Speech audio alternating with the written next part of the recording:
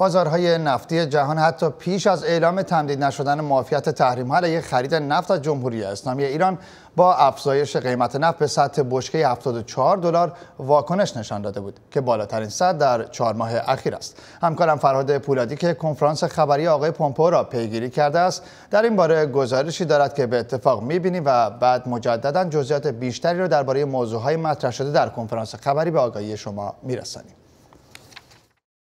به گزارش رویترز به نقل از یک منبع نزدیک به مقامات عربستان سعودی ریاض فقدان نفت ایران در بازار ناشی از عدم صدور موافقت خرید نفت از جمهوری اسلامی ایران توسط آمریکا را جبران خواهد کرد. رویترز می‌گوید حتی پیش از اعلام رسمی تصمیم آمریکا قیمتهای نفت خام به طور متوسط 3 درصد افزایش یافته است. دولت پرزیدنت ترامپ با خروج از برجام و اعمال فشار حداکثری بر جمهوری اسلامی با هدف تغییر رفتار های تهران از ماه نوامبر سال گذشته تحریم‌های ثانویه در مورد خرید نفت از ایران را اجرا کرد. واشنگتن با این حال به چند کشور اجازه داد که خرید نفت از ایران را به مدت 6 ماه ادامه دهند زیرا نمی‌خواست قیمت‌های نفت در قیاب حضور نفت ایران در بازار افزایش یابد.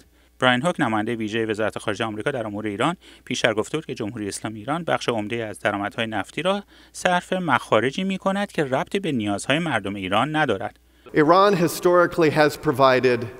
ایران طی سالهای متمادی سالانه حدود 700 میلیون دلار به حزب الله لبنان و حدود 100 میلیون دلار به حماس و جهاد اسلامی فلسطین کمک مالی کرده است. آمریکا در چارچوب فشار اقتصادی حداکثری که در تاریخ تا کنون به این اندازه علیه رژیم ایران سابقه نداشته است درآمد نفتی آنها را هدف قرار گرفته است. مقامات ایران تصور این حجم تحریم را نداشتند و کارمان را تازه آغاز کرده ایم.